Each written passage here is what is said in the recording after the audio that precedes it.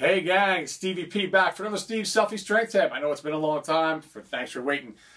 I'm just getting ready to train here today. I'm in a great mood. I'm always in a great mood when I get ready to train, and that's because I love to train.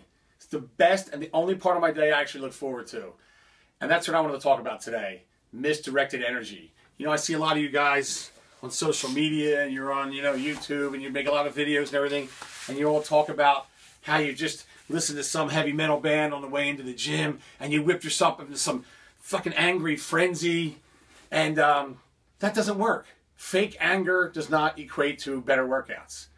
It's a happy time, it's a happy place for all of you. If you love working out like I do, if you truly have the passion for training like I do, which I'm sure you do, it should be a happy place. Working out, I don't care what these hardcore assholes on the internet tell you, it is not a war. It is a party. If you think about it like a party, you're going to just, you're going to embrace it. You're going to have a much better time training. Because I have seen guys come to the gym with real anger. I mean, after car traffic accidents, arguing with their wives, a bad day at work, you can't train for shit that way. Myself, I went through a divorce probably through the prime of my Highland Games career, and it fucked me up for years. I had the hardest time focusing, training right, you know, just even coming in the gym. I didn't want to be there. All I just wanted to do was sit home and drink. All right?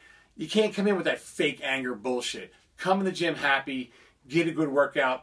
Promise me, I promise you, you will have a much better time in the gym and you'll enjoy yourself for real. All right, this is Stevie P saying, you're welcome.